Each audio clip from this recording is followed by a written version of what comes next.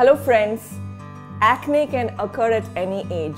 There's so many foods you shouldn't eat so, to prevent acne, but I'll tell you some foods you can eat which will help you not to get acne. So the three key ingredients are plums, figs and olives. So the skin of the plum has A-cyanocanthins which are very good in vitamin C and can prevent inflammation and give you a nice glow. Second is olives. Olives are very rich in polyphenols and it also has vitamin A and E which is an anti-inflammatory and antioxidant excellent to prevent acne. And the last is figs. So figs are very rich in potassium and also in antioxidants and they help to hydrate the skin. So this snack twice a week can actually prevent acne. Thank you.